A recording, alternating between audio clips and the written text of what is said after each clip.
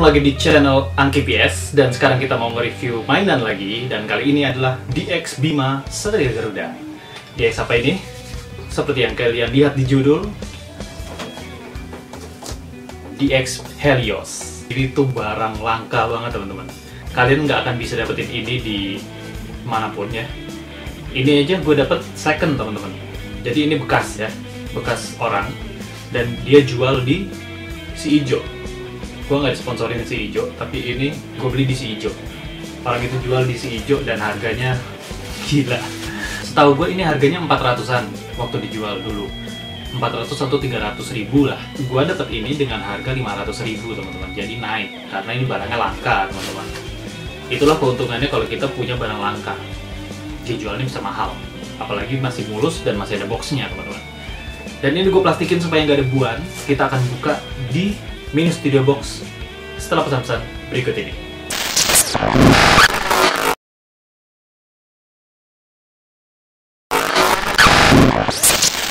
Sekarang mari kita review box dari DX Helios. Let's go. Ini bagian depannya. Bisa transform. Dan sisi samping. Sisi samping lagi. Kemudian bagian atasnya. DX Helios Bagian bawah ada SNI dan DX Helios. Helios Red and Blue. Kemudian bagian belakang asli Bandai. Kalahkan penjahat Fudo dengan Helios dan kembalikan kedamaian di bumi. Bangga nggak sih kalau punya mainan yang boxnya bahasa Indonesia? Mantap, let's unbox. Ini dia DX Helios. Kita lihat detailnya guys. Wah, masih mulus banget. Gak ada goresan sama sekali. Sedikit berat, jadi enak dipegang.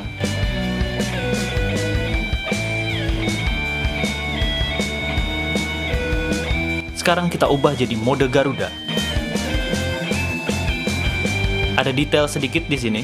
Belahnya jangan dari sini ya, tapi dari sini. Nah, seperti ini. Wah, gokil. Enak banget pas ngebelahnya. Bagian bawahnya begini aja.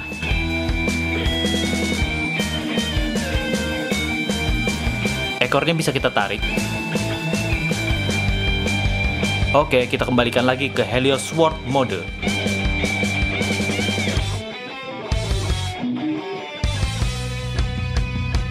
Mantap!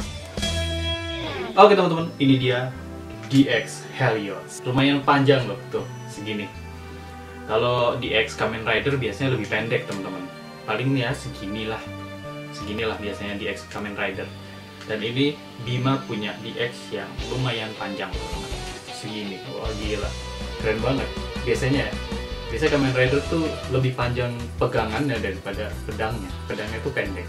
Tapi ini Bandai berani bikin sepanjang ini teman-teman untuk Bima. Keren banget sah sah dan ini bisa dibelah ya. Ini belahnya dari sini teman-teman.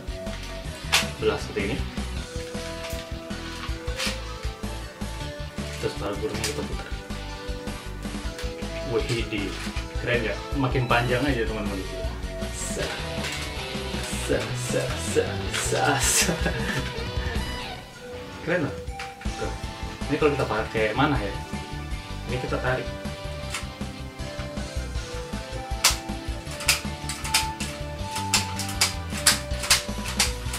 cuma kayak gitu aja. Nggak bisa ditarik full nggak bisa. Jadi cuma kayak buat suara aja teman-teman. Jadi cuma ya cuma kayak gitu aja teman-teman. Dan ini keren banget ya. Sekarang kita coba pakai ini ya.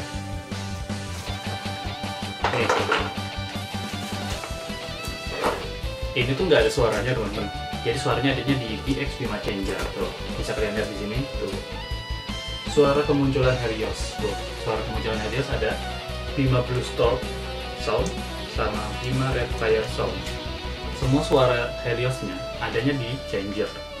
Jadi kalau kalian mau beli beli sekalian dua. DX Bima Changer dan Helios beli sekalian dua teman-teman. Mau coba nih? Coba ya. Kita coba dengan suara. Jangan cuma nonton ya, ayo di subscribe dan nyalakan loncengnya. Thank you. Oke guys, ini dia DX Bima Changer dan DX Helios. Ini adalah perpaduan yang pas ya. Karena DX ini nggak ada suaranya, suaranya ada di sini semua. Oke, sekarang kita coba ya. Udah nyala. Kita berubah dulu. Ini suara berubah. Bima.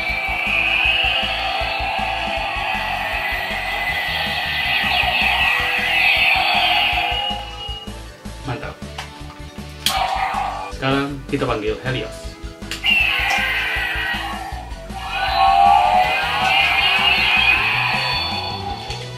Oke, Heliosnya udah datang. Oke, selanjutnya Bima Blue Storm.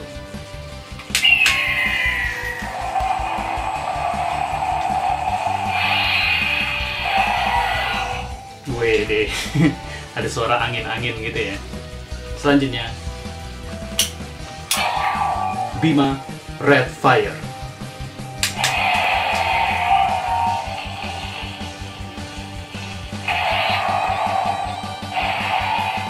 Wih, keren teman-teman. Jadi memang kalian harus belinya sepasang pedang sama changer gitu teman-teman. Oke, cukup sampai demikian review gue tentang DX Helios dari Bima Series season pertama dan DX Bima Changer dari season pertama. Jadi bagi kalian yang tertarik, ayo di subscribe channel ini, dibantu supaya gue bisa lebih semangat lagi bikin konten teman-teman. Oke, sampai jumpa di video berikutnya. See ya, see you, saya yo, bye bye.